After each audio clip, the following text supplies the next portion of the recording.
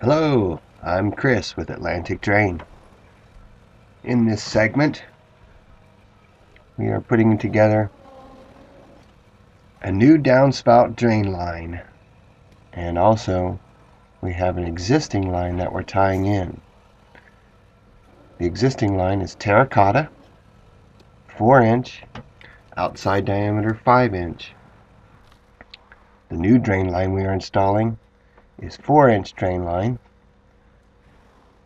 PE plastic, and we are adapting the terracotta to the plastic with a no hub, 4x5 no hub, cutting all those pieces of pipe to length so they will fit in there properly for our turn that it's coming up to.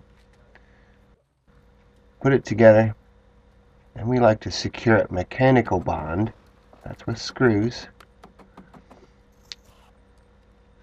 on all fittings so that they don't come apart or drop because this terracotta line is actually about seven inches higher than our new polyethylene pipe that we are installing and last but not least secure your clamps on the no hub both to the polyethylene 4 inch and the terracotta 5 inch. That just about wraps it up for this segment of How To. I'm your host, Chris, with Atlantic Drain and Gutter, and thank you for watching.